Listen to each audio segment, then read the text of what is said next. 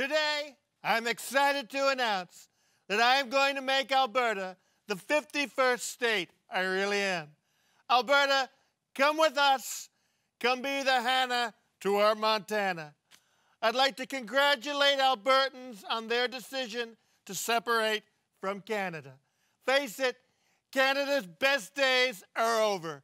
It's time for Alberta to get a divorce and move on to a hotter country. It really is. Take it from me, I've been divorced twice. Alberta even sounds like one of my wives, Ivana, Marla, Melania, Alberta. So hot. But I don't trust Canada.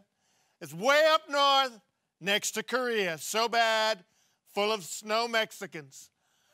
We're going to suck your oil with a plastic straw, and then we're going to just throw away the straw. So bad, so good. And if they're not careful, I'm going to grab Saskatchewan right by the Regina.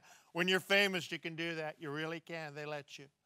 Alberta is used to being ignored, so I'm going to rename it after my son Eric. Alberta will now be known as Erica. It's such a better name, isn't it? It really is.